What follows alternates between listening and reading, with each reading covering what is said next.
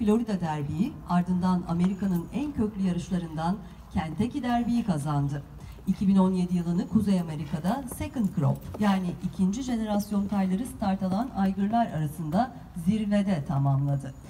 Bir diğer başarılı yavrusu Cheermeister, Amerika Birleşik Devletleri'nde iki grup koşudan zaferle ayrıldı. Yavrularından Bod Express Grup 1 Clark Stakes'i kazandı.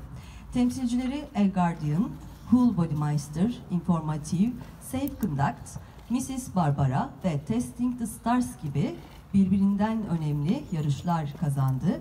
Bodymeister'ın 420'nin üzerinde temsilcisi dünya genelinde 1100'ü aşkın yarış kazanmış ve kariyer kazançları 30 milyon doları aşmıştır.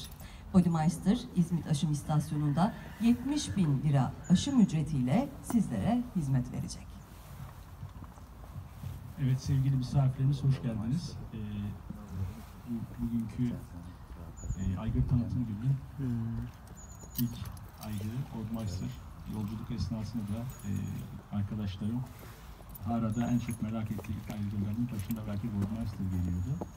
E, ben burada pedigri analizi yapmaktan daha çok e, Oldmeister'ın geçmişte başarılı olan yavruların kısrak hatlarıyla ilgili e, size bazı ipuçları vermeye çalışacağım ki aynı hat üzerinden e, Nick yani kısrak, aygır kısrak babası üzerinden e, size yardımcı olmaya çalışacağım.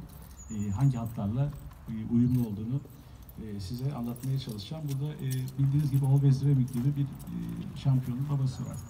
Ve e, Always Dreaming'in e, kısrak babası yani kısa hat olarak Nasrullah'a uzanıyor. Yalnız kendisinin periste bir Northern Dancer inbreeding'i var. O yüzden e, aygırımızdaki e, anne hattındaki Stormcat ve Stormbird dolayısıyla Northern Dancer'a uzanış, e, uzandığını görürsünüz. Pedix'i incelediğinizde e, bu aygırla Northern Dancer e, inbreeding'i yapabilirsiniz.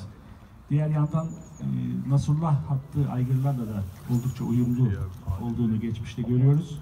Dolayısıyla ülkemizdeki Binajvat, Yonaguşka, Doyun, Wolf, Galetto gibi e, aygırların kızlarıyla e, rahatlıkla kullanabilirsiniz. Yine e, Mr. Prospector hattından Kuve, Royal Abjar, e, West by West gibi ya da onların oğullarının kızlarıyla e, aygırımızda böyle bir pedigre çalışması yapabilirsiniz. Dediğim gibi ben burada bugün bütün aygırlar üzerinde e, size e, aygır ve kısrak babaları bakımından yardımcı olmaya çalışıyorum. Ama her atın kendi pedigrisi, her kısrağın kendi pedigrisi özeldir, ayrıdır.